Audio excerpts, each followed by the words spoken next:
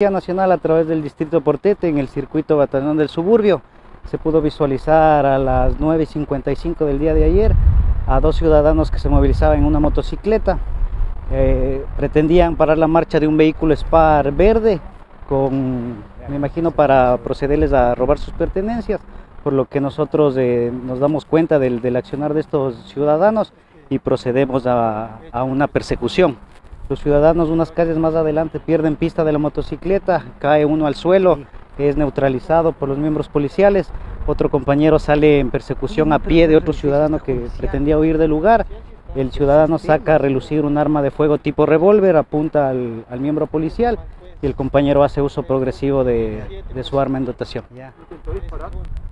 Eh, la, la, acción era intentar atentar contra la integridad física del Sí, tiene cuatro sin percutir y una vaina percutida. ¿Ustedes refirieron el ataque de, este, de esta persona? Sí, el compañero realiza unas detonaciones para neutralizar la amenaza letal. ¿Cómo huye el otro sujeto?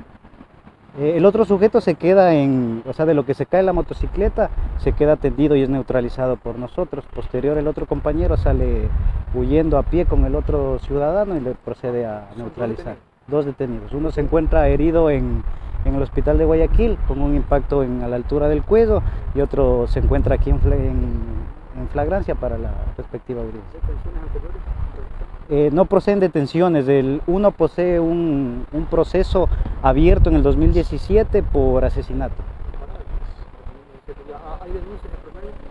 Eh, no, los, lamentablemente los, lo que se menciona del vehículo Spar verde, al notar la, la acción, eh, cogen rumbo de desconocido y no se les pudo ubicar a los ciudadanos para que presenten la denuncia. ¿Son ecuatorianos? Son ecuatorianos, el uno tiene 21 años y la otra persona 23 años. ¿Los nombres iniciales y apellidos los puede llevar? Los nombres de las personas detenidas. Los o nombres- iniciales, nombres con sus iniciales. No, no poseemos las... ¿A dónde fue exactamente detenidos? En la, 29, en la 26 y la, E- y la M.